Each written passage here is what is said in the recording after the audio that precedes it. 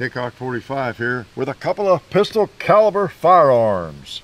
The Scorpion made by CZ and then the MPX made by, who is it? SIG.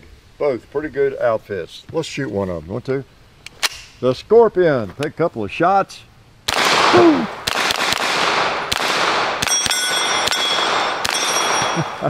sweet, sweet. Oh, yeah, there's a bowling pin down there. Got him. Got that rascal.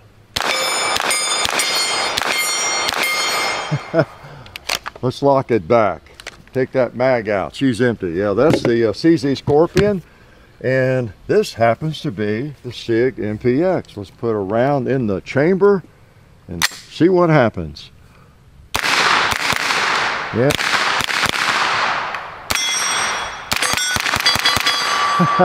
hey, not bad.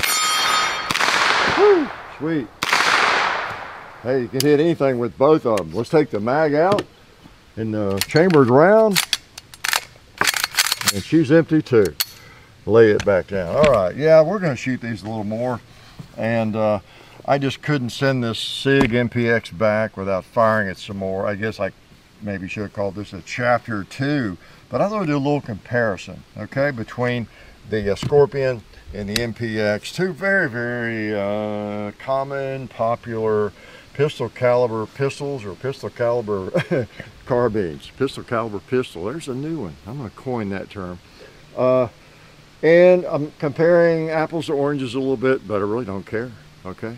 Because this one, even though they're almost as big, equal in some ways uh, because of the large handguard on the Scorpion, it is actually officially a pistol with a brace on it and the MPX is a carbine, you know, with 16 inch barrel. But they're all I've got and all I have really fired lately. And for the last few weeks, I have been uh, shooting this thing on and off, this Scorpion. Uh, you know, I purchased it, you recall, you've seen it in the Sunday morning videos a time or two, as well as the MPX, uh, have had it for a couple of weeks or more and been shooting them both. And so I have definitely uh, developed some opinions you know comparison wise between the two even though one is a handgun with a shorter barrel. And uh, I thought I'd just share that for whatever it's worth. And since in a way it's not apples to apples uh, we decided we're not going to charge you for this video okay? And uh, check us out sometime because we do uh, three four videos every single week. Yeah some of you don't keep up well. I'm ashamed of you All right, so yeah, I'm just going to do a little comparison before I send the MPX back because I don't know when I'll have another one of those. I'm going to try to refrain from buying one. That's really tough for me when I kind of fall in like or fall in love with a firearm and I really like that thing. I'm going to try to restrain myself. So I might not have one of those for a while, maybe ever again, okay? So while I have it, before I ship it off, thought I'd uh, say a couple things about it. And uh, this topic has been, I guess, done to death, you know, because a lot of folks, a lot of you all, have had some of these for many, many years. And uh, I have not had these particular ones for, for that long, or the experience with them all that long. But they're both big uh, names, CZ and SIG, okay? They, they have some things in common. That would be one. They're not some outfits you've never heard of even though some outfits you've never heard of might make great guns, right? Implying that. But uh, they're both name brands, right? I talk about that occasionally on Sunday. Name brands. They're both, they've been both very reliable, okay? They seem to be extremely reliable. And if you have had these, I, you'd probably agree they're, they're, they're reliable firearms. Uh, that's one thing that they just are, are known for, I believe, okay? If you've had a different experience, well, somebody I'm sure has had a different experience, right, with everything. But uh, generally speaking, I think you probably have found uh, that they are uh, just fairly simple in design and uh, just, just reliable your firearms. I think they both have pretty good ergonomics.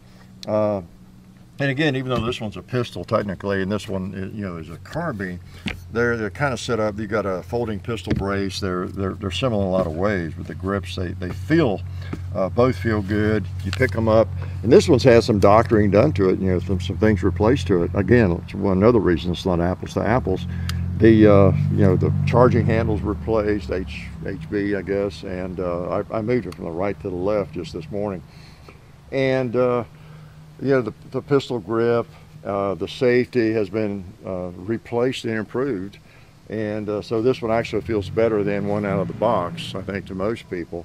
But again, that's uh, a characteristic of these these firearms. They're they're very easy to modify. It's another thing they, they both, I guess, would have in common that there's a huge aftermarket of uh, accessories for both of them. And actually, not just maybe what you call accessories. I don't know where that line is exactly, but you know, pistol grip's not exactly an accessory, is it? But but you have choices: pistol grips and stocks and braces, safeties, bolt handles, uh, you know, sights, of course, and, and, just a myriad of other things that you can replace and uh, fix on both of them.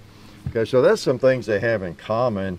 They both fire nine millimeter. You know, newsflash, they're both pistol caliber, right?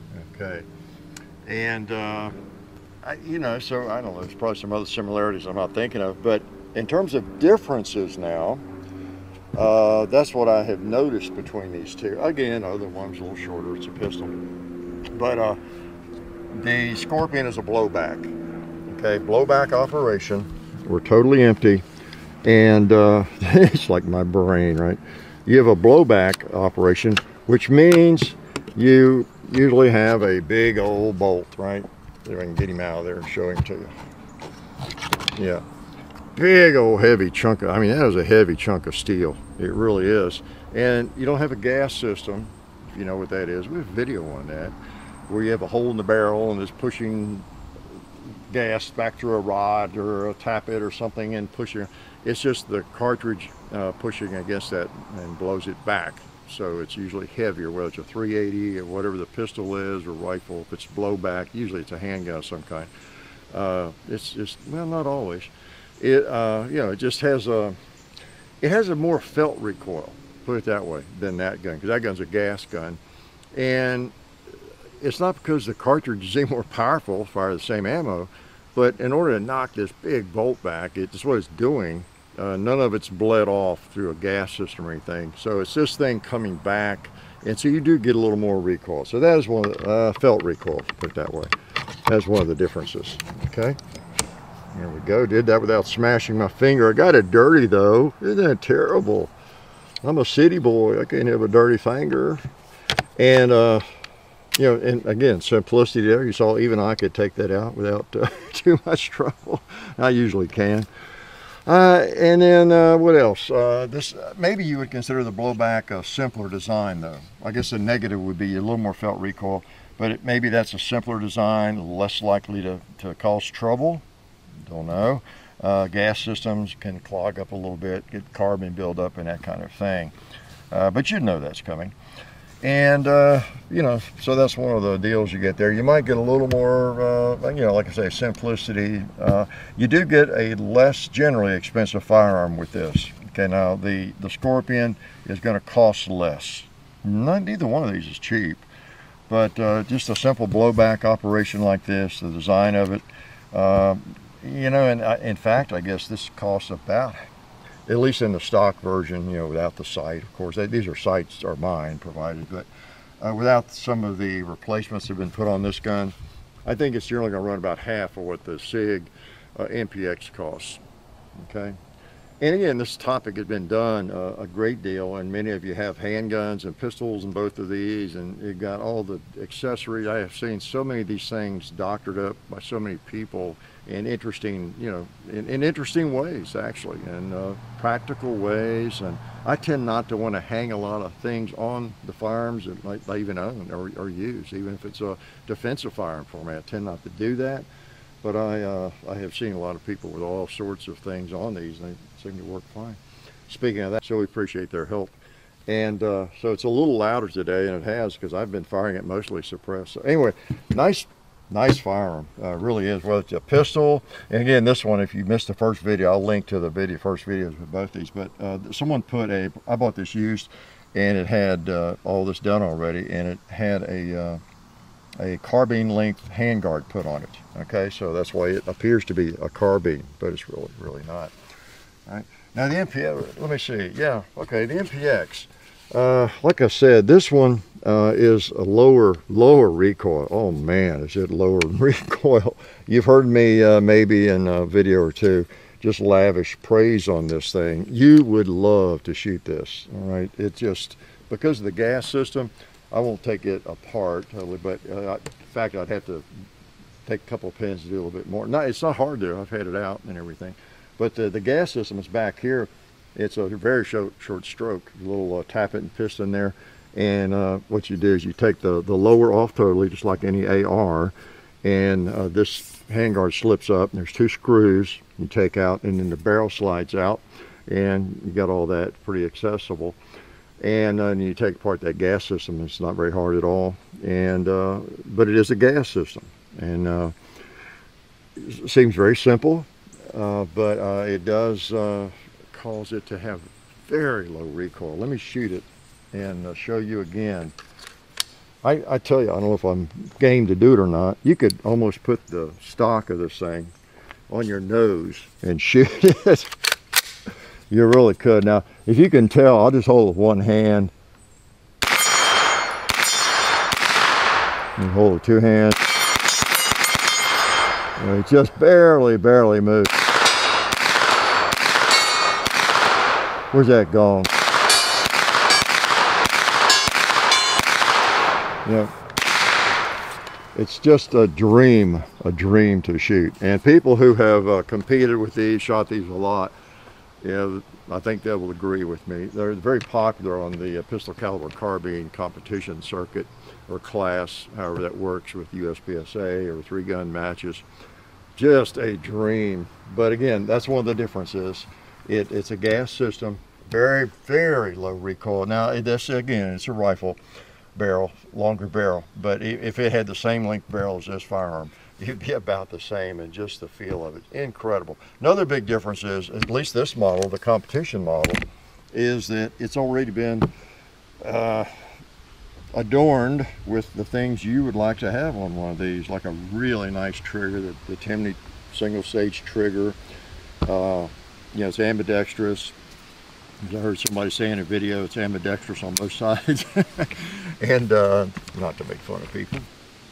Uh, I'm the one that deserves to be made fun of, right? But yeah, it is ambidextrous on both sides, and uh, you know you got all that going for it without having to, to, change anything yourself. So there's really no modifications needed for it. I'm sure there's something you could think of you'd like to do to it. And uh, of course, another big advantage to it is over the, I guess, the Scorpion. If you like AR-15s or AR platforms, is that's basically what you have and most people are familiar with that right you got your safety there just like you know everything uh, you know, your mag release you know it's basically an AR platform in uh, nine millimeter uh, your, your, stock you know operates the same way and you know, there you go you got your rails of course on both of them put your sight where you want to you can have backup sights uh, whatever you'd like to do so that's some ways it's different again other than the obvious it's a carbine but that's what I had. And uh, so that's why just a little bit of comparison, you know, there. So like I say, I, I just, uh, I've been enjoying both of these the last month, less than a month. And I before I send this one back, I wanted to uh, just do a short uh, expose on, you know, my findings. Although many of you have already discovered that and you're, you're well aware of it, a lot of you have not. If you're considering a pistol caliber carbine, which I think a lot of people probably are. They've gotten so, so popular. And while a lot of people have them, that means they're very, very popular. So a lot of people are out there too thinking about one. And uh, I guess I have four or five, and I, the more I think about it, you know, I got an AR Lone Wolf thing, and uh, I've got the uh, uh, CX4 Storm Beretta, and they're just a lot of fun, a lot of fun to shoot and these two are a couple of the most popular. I guess these might be uh, ranked one and two even in most popular or most most common. I'm not I'm not sure, but uh, they're both great guns. And you know I got a little ammo left, so I'm to shoot this before we go. That's some Syntech in it. Yeah, make sure you get the right mag. You know the mags look uh, similar, don't they? This one's for the MPX. And this is of Scorpion. These are Magpul. I bought most of these mags. I bought aftermarket so I'm to take a couple more shots. All right. Because there are some things that have not been fired upon. so even though with that MPX, You can just lay it there and uh, very little recoil. This one ain't bad either. You know, I mean, it's nine millimeter after all. All right, so I want another chance to shoot this one. It's probably the last shots I'll take. Make sure I didn't put a, yeah, that's right, they're not hollow points or anything. Okay. Yeah, man. So you got a, on this one, you got the bolt drop on both sides. Again, ambidextrous, both sides. Where's that gong? Where's that gong? There he is.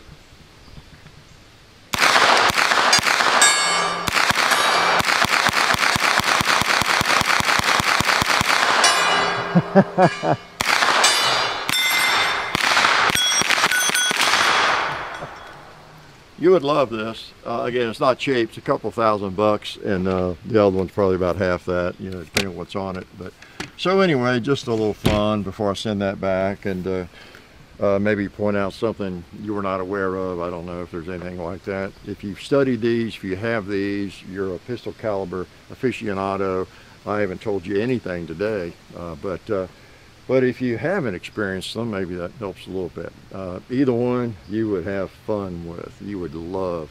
If you got uh, thick enough pocketbook, uh, you would definitely love that one. And I think you'd like the Scorpion, uh, but you, what most people find they want to do with them though, is as quickly as possible, if not sooner, they want to replace the pistol grip on them, the safety and we put the fake safety on the right or I forget what they call that but there's no real safety over there. And uh, you know the charging handle uh, what else? I think even the mag release button switched out on this one. And then of course the brace of your choice and if it's a pistol. But uh, you know just be aware of that. So and, and on some of the MPX models as well this is the, I think the competition which they've already you know put that fine trigger in some things like that. So anyway these are really cool guns. Let me hold them both up because I, I like them and I'm going to miss this old uh, MPX how's that? Life is good. Oh yeah that's better. This is a great gun for defense. Oh hey didn't see you guys there.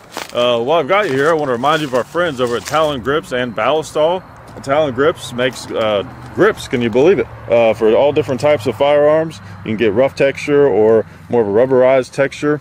Uh, just sticks right on there. You know, really affordable, really cool option to improve the grip for your handguns um, or, or rifles. Uh, so please check them out at talongungrips.com. You'll be glad you did. And also Ballistol. Uh, Dad has been using Ballistol for many years. It's a cleaner and a lubricant, and it's non-toxic. Uh, it works really great, and we're happy to have them on board since it's been a part of our shooting endeavor for a very long time. So go to ballistol.com, talongungrips.com, and also while you're out there, I'm juggling all these things here. Also, uh, while you're on the internet, please do check out our other social media like Hickok45 on Facebook. There's also Hickok45 on Twitter, The Real Hickok45 on Instagram. There's a John underscore Hickok45 on Instagram where I do some things. There's hickok45.com. Uh, you can find us also on Gunstreamer. So check out all that stuff and then watch more videos.